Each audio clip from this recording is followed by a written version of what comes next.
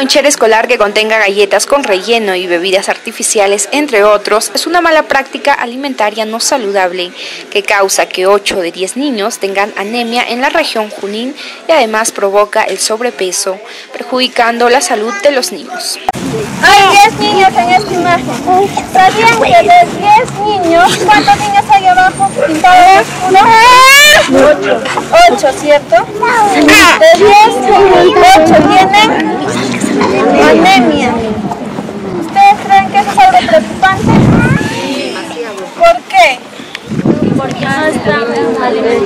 Bien. ¿Y eso está ocurriendo dónde? Acá, en Junín, ¿ya? Entonces, esto tenemos que prevenir.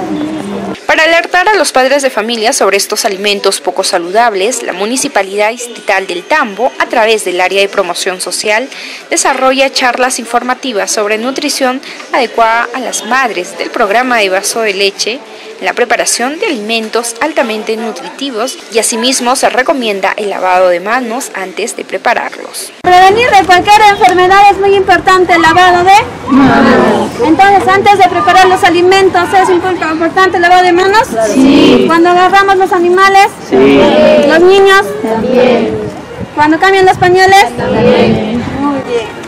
Espesas o segundos, según la edad del niño y la niña. ¿Le van a dar calditos? No. ¿A qué edad tienen que comenzar a comer sus niños? A los seis ¿Calditos van a dar? Papillas ¿cierto? Acá como ven en la imagen.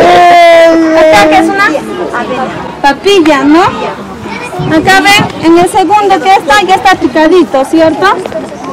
Al respecto, la promotora social de la comuna Tambina, Edith Gamarra Colonio señaló una vez al mes los 98 comités del PBL del Tambo tienen distintas capacitaciones. Con ello se pretende que cada reunión sea productiva y beneficiosa con la finalidad de desarrollar las capacidades de cada madre de familia. Las mamás van a tener cada mes, una vez al mes se van a reunir en los cuales sí se va a tener distintas capacitaciones, sean charlas, apoyo psicológico, ya que la municipalidad nos está abriendo sus puertas y queremos que nuestras madres de familia no solamente vengan, como quien dice, a chismear, sino aprender a valorarse como madre, ¿no? Como madre, como mujer. Una prueba de que se viene desarrollando las habilidades de las madres de familia es que ellas mismas crearon bolsas a base de material reciclado donde recibirán su ración de leche mensualmente con el objetivo de evitar la contaminación ambiental. Esto es parte del proyecto denominado No a la Contaminación, impulsado por la comuna tambina, agregó Gamarra Colonio. El trabajo de elaboración de bolsas más que todo se está haciendo para evitar la contaminación ambiental ya que toda mamá está acostumbrada cuando es el reparto de leche a ir a comprar una bolsa de 10, 20 céntimos, bolsas negras, y recoger en esa su, ración que se les da, ¿no? Mensualmente.